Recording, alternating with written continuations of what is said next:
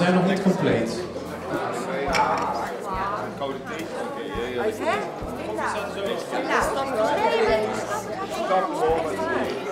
Lekker stap.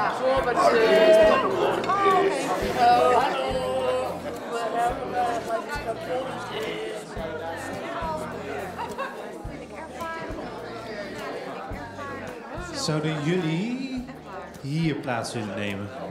Dan hebben we iets meer opvulling hier.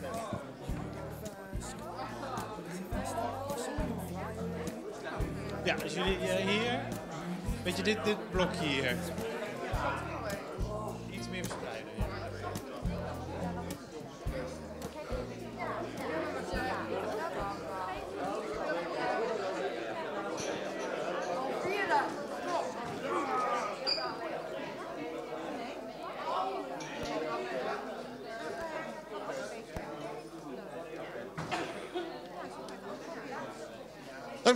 Test.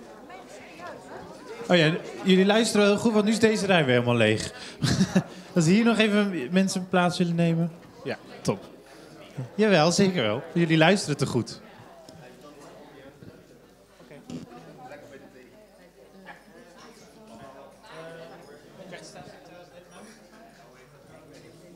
Staat hij live?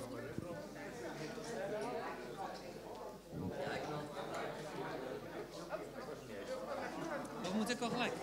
Oh joh, sorry. Dat is even koffie even niet. Ik word verder niet aangekondigd. Nee, dat heb ik net gevraagd. Ja? Dat was niet de bedoeling. Ik wil het wel doen als je het wil. Hoe lang? Een half uur?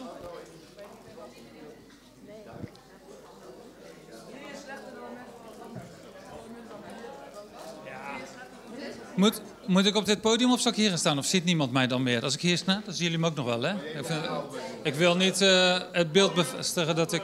Hoi, wel op podium? Een beetje achter die bal staan. Goedemorgen allemaal. Eh, ik heb een heel aantal van jullie al gezien. En sommige van jullie mij nog niet waarschijnlijk. Dus ik ga even zeggen wie ik ben. Ik ben Paul Blokhuis en ik ben staatssecretaris bij VWS. En ik mag proberen een mooi preventieakkoord te maken waarin ook roken zit. Ehm, wij streven naar een rookvrije generatie. Dat eh, in Nederland, zeg maar, de jongeren ongeveer die nu geboren worden, die moeten straks niet meer weten wat een sigaret is. En die zien dan filmpjes en dan zeggen ze: Wat is dat voor een ding wat er in die man zijn mond zit eh, waar rook uit komt? Zoiets. Eh, Dat beeld heb ik een beetje, maar dan zit je in 2040. Hè? Maar dat doel hebben we wel. En dat is best ambitieus. 2040 echt een rookvrije generatie. En daar ga ik ook voor. Overigens, bijvoorbeeld Finland gaat nog harder. Hè? Die wilden dat in 2030 al bereiken. Dus misschien als wij een paar stapjes harder zetten, dat we dat ook wel nog naar voren kunnen trekken. Eh, maar even naar jullie, want eh, ik mag hier even zijn als staatssecretaris. En eh, Jan, die achteraan zit, de, de, de, de, de, BN, de BN'ste BN'er hier in, in deze zaal. Die heeft voor het oog van heel Nederland maandag zijn peuk uitgedrukt. Kreeg ik weer gezeik over van... Ja, toen was het al 1 oktober, heeft hij heel eh, 24 uur gewacht. Maar het duurt 28 dagen, dus jij moet tot 29 oktober dan... ja. voor jou duurt het stoptober tot 29. Ja. Maar... ehm, ik wil hier een paar dingen zeggen. In de eerste plaats, eh, zwaar respect voor jullie dat jullie überhaupt hier zijn en dat jullie die stap hebben gezet om mee te doen aan Stoptober. Want ik heb zelf echt nooit gerookt, alleen een paar sigaretten om vuurwerk aan te steken, maar dat, was niet, eh, dat leidde niet tot een verslaving, zeg maar. En eh, ik heb wel in een huis, in een gezin geleefd. Mijn vader, die was... Mijn vader is pijp gaan roken, die rookte ook op een gegeven moment sigaar, sigaret. Alles waar, waar rook uit kwam, stopte hij in zijn mond. Maar hele aardige man dan. Maar die rookte pijp. En dat zei ik even bij Pauw. Bij ons was het een groot gezin. Zaten we met z'n allen in de auto. En dan gaf mijn vader zijn pijp naar achter met tabak. Zit die Paul weer eventjes eh, mijn pijp stoppen. Nou, ik wist precies hoe dat moest. En ik zat daar te paffen in die auto. Hier pap, hier heb je hem. Nou, eh, gelukkig ben ik niet aan die pijp blijven hangen. Maar dat was... Uit zo'n gezin kom ik. En ik denk een heleboel van jullie zoiets bekends, vergelijkbaars hebben. De meester op school die gewoon rookte. Trouwens, dat in, in 1978 mocht dat niet meer. Hè? Dus als ze het daarna nog deden, dan... eh, Ehm, Stoptober vind ik echt een heel gaaf initiatief, want dat helpt ons ook om die rookvrije generatie dichterbij te brengen. En eigenlijk moet dit nog een veel grotere beweging worden, want wat ik hier net zag, ik vond het echt heel erg tof. Ehm, als ik zie hoe jullie in groepen bij elkaar zitten om het met elkaar te hebben van, je hebt die hele belangrijke stap al gezet, ik ga stoppen met roken. Ehm, en dat is al een hele moeilijke om dat te overwinnen. En het ritueel meemaken van die laatste sigaret die uitdoet. Hopelijk echt de laatste ooit. Maar dan het volhouden. En ik denk als je hier bent en je maakt die gesprekken mee. dat dat wel een hele goede duw nog de goede kant op geeft. Geen garantie op succes, maar dat het wel een goede duw is. Nog verder de goede kant op.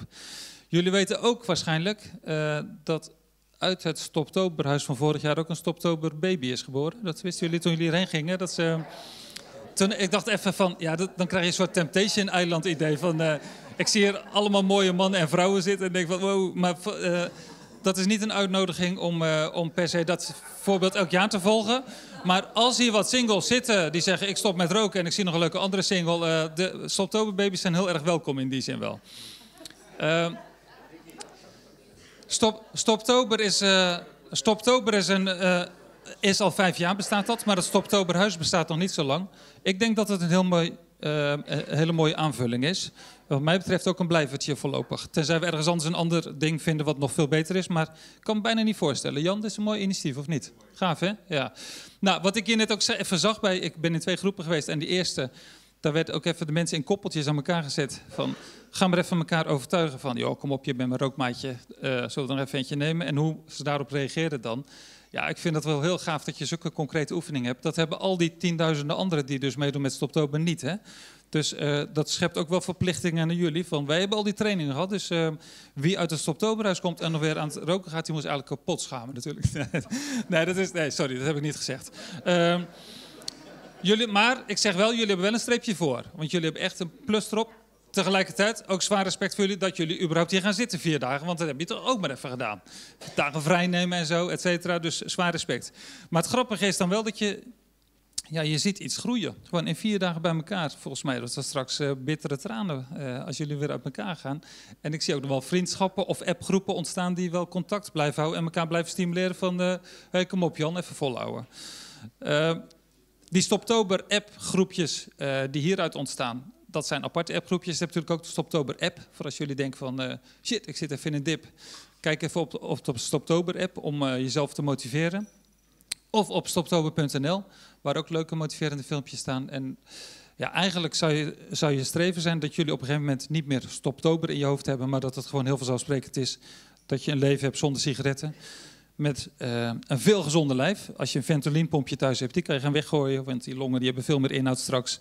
Uh, veel frisser hoofd, uh, veel minder kans op ziektes. dus je zult echt aan je conditie gaan merken, maar daar vertel ik niks nieuws mee tegen jullie. En wat, ja kijk, dat hebben we ook minder. Dus, wat, je, wat je gaat merken is, je hoeft minder vaak naar buiten als je op een feestje bent. Want je kan lekker binnen blijven zitten, want binnen is het feestje en niet buiten. En ik hoop dus dat het inderdaad zo is, Jan, dat je dan niet met z'n tegen je hoeft van... we gaan samen met mijn maatje roken, want dat maatje is natuurlijk ook gestopt. Die zit ook binnen feest te vieren. dus dat sneuwe gedoe van buiten staan en zo, klaar. Ik zet me er heel erg voor in om dat ook verder in Nederland uit te rollen door maatregelen te nemen en met, en met allemaal organisaties afspraken te maken. De verslavingszorg wil rookvrij worden, bijvoorbeeld in Nederland. Hè. Ehm, in 2020 al. Cliënten en uh, professionals niet meer roken, ook niet op het terrein. De geestelijke gezondheidszorg komt er ook achteraan. De ziekenhuizen. Uh, nou, je krijgt Groningen, rookvrije straten. Uh, ik wil wel ervoor waken dat we niet van de roker een paria maken. Want het zijn ook mensen. Hè? bedoel, en ik zie jullie, jullie hebben het gevecht nu gewonnen. Maar er zijn er nog vele duizenden, wat, miljoenen in Nederland, die het gevecht nog voeren, die best wel willen stoppen. Laten we die mensen gewoon ook even in hun waarde laten. En het gevecht gaat niet tegen de mensen, maar tegen dat verrekte roken. Nog wel één ding. Uh, ik liep net met iemand op, ik zal niet naar hem kijken of zijn naam noemen, maar die zei: Als ik zie hoeveel ik nu al uitgespaard heb in een paar dagen, en als ik dat even een paar maanden verder trek, daar zit een hele mooie vakantie naar Amerika in straks voor mij. Dat zijn toch wel hele leuke bijvangstdingen die uh, gevolg zijn van jullie stap om te stoppen in Stoptober. En wat ik het hele gaaf vind van Stoptober, maar dat spreekt heel erg vanzelf. Je doet het met een groep, je bent niet in je eentje. Dus die groepsdynamiek, die kan je volgens mij ook een heel eind hier doorheen slepen.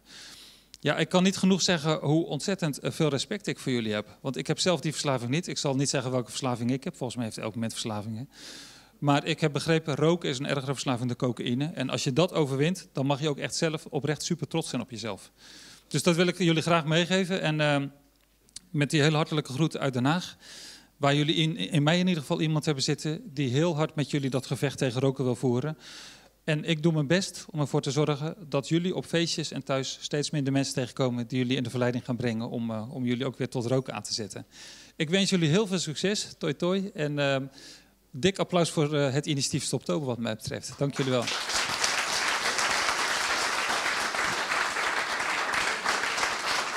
Ik vergat één ding. Ehm, volgens, mij, volgens mij hebben sommigen van jullie meegeholpen aan dit kunstwerk, of niet?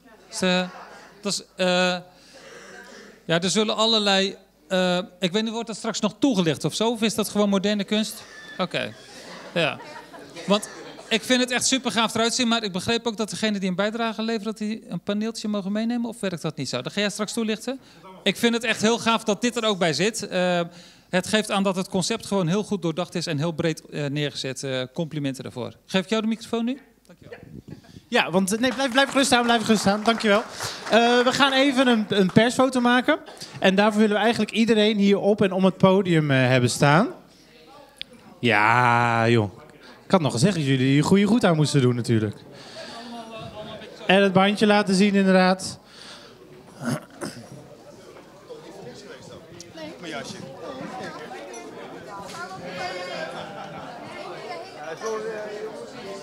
Je hoeft niet hard te lopen, je moet op tijd vertrekken, zei Johan Cruijff al.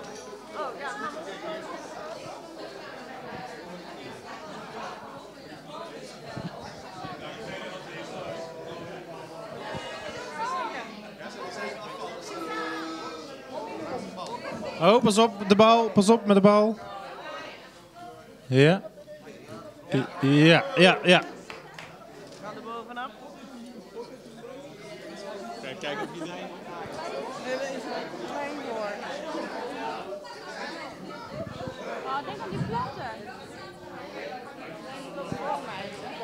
Nou, kijk, zie je, na zondag ging dit een stuk lastiger. En kijk hoe goed jullie dit nu al doen.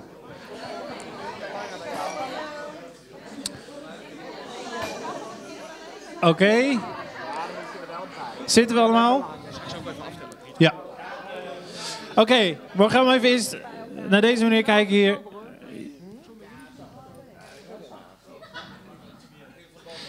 Drie. Ja. Nog één keer. Drie, twee, één.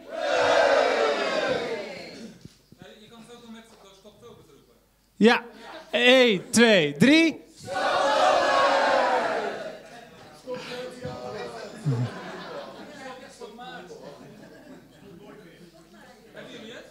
Hebben we hem? Oh, oh, oh, oh, oh. Gaat goed, geen ongeluk.